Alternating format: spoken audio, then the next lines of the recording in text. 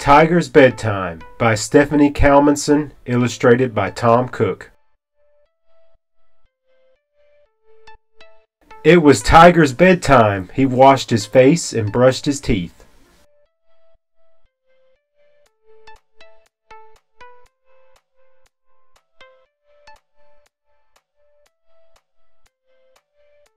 Then his mommy came to tuck him in. I'm not sleepy, Tiger said. But you've had such a busy day, said Miss Tiger. Why don't you tell me what you did?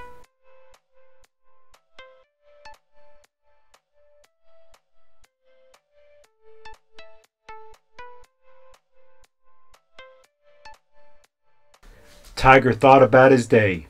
First I visited Monkey, Tiger said.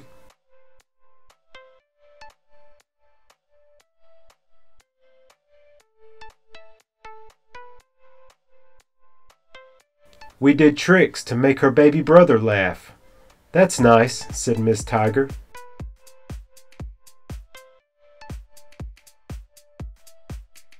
Then I played hide and seek with Elephant and Lion, Tiger said.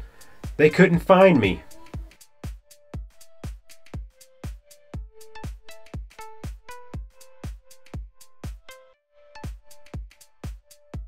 They're looking all over the place.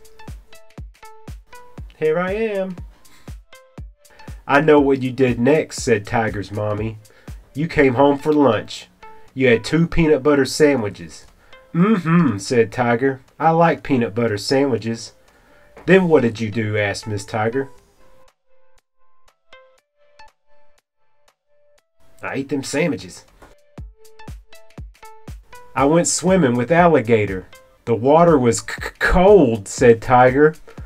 Oh, what was it? said Miss Tiger.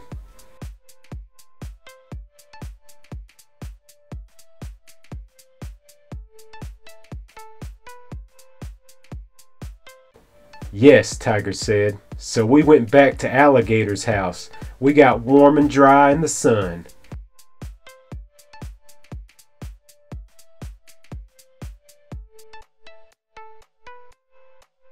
Then Alligator's mommy helped us bake. Shape cookies to have with our milk, Tiger said.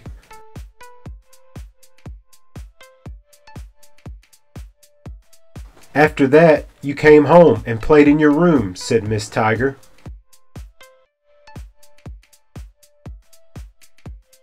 Then you had your supper and a bath, she said.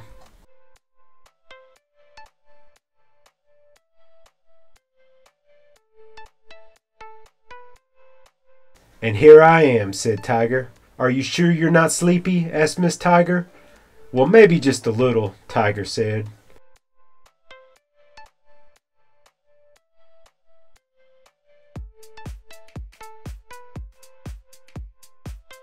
Sweet dreams, said Tiger's mommy, but Tiger didn't hear her. He had fallen fast asleep.